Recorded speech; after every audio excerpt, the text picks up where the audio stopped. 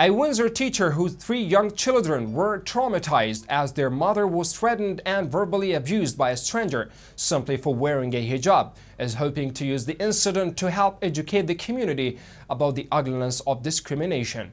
I am hoping to have an open dialogue.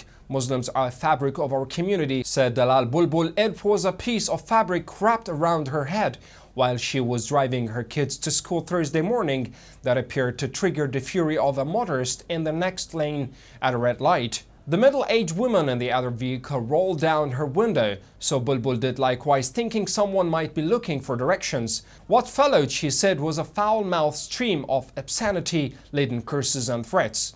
Remy Boulbol said it's crazy that a Windsorite she's expected to answer for the terrorist acts of someone from a foreign land just because they share the same religion.